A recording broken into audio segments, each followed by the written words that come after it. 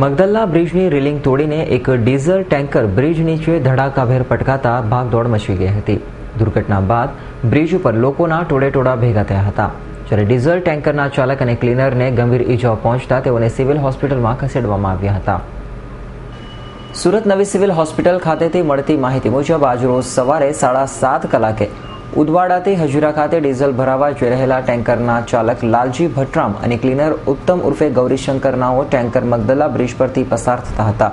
ત્યારે બ્રિજના નાકે બ્રિજની રેલિંગ તોડીને ટેન્કર નીચે પટકાયું હતું.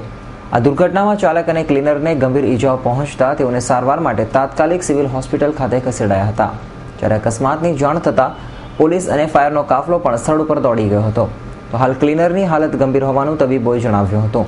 તો બનાવને પગલે બ્રિજ ઉપર લોકોના ટોળા ઉમટી પડ્યા હતા. Bureau report S nine news Surat.